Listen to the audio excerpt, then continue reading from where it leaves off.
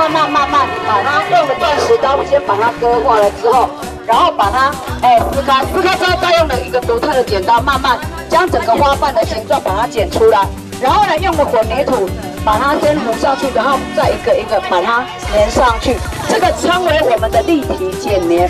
那各位同学，刚才你们看到的牛枝成群那个是用了我们的平面剪粘，所以呢它是完全不一样的。那你们有没有看到这些同学摸了这个树干，它全部都是用到了我们的酒瓮。我们先将酒瓮打破了之后，才把它哎粘上去。这个就是来跟你们说的，春天的时候它就是开满了花朵，夏天的时候它整棵呈现绿叶，秋天的时候呢它的种子呈现金黄色，所以呢在我们台湾被称为黄金树。来挥挥手，挥挥手来，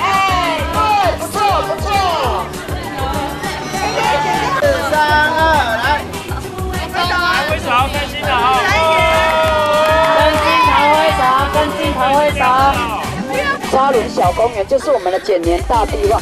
来，各位同学，麻烦下来往这边集合。身体哈，整个它是用了两棵枯掉的树之后呢，我们帮它，哎，就把它埋在里面。然后呢，外面我们就是用到钢筋水泥。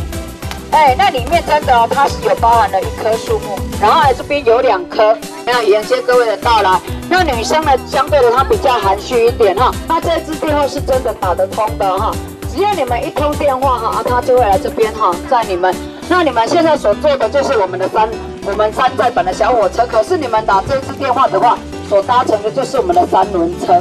哎，真的是以前老旧的三轮车。可对啊，拍照。好，那个可以去看哈。然后呢，这边有你们如果有任何东西要抗议的，可以卧轨抗议。好，跟老师们做一个。那它呢，最早停驶的是在民国七十一年啊，客运呢先做个停驶的动作，在民国六十几年、六十几年的时候，我们汽机车兴业当中，哎，现在没有了，哎，目前都没有了哈。景点哈，那这边呢，各位在里面手机哦，哎，真的张开了。来，你们的老师美不美？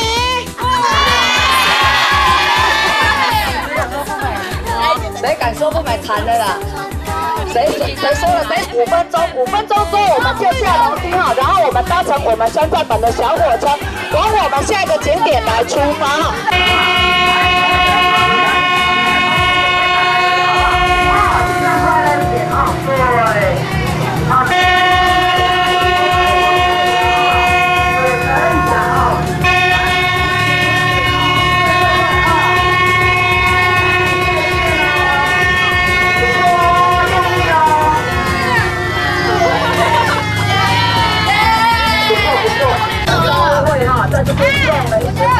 菜花之类的。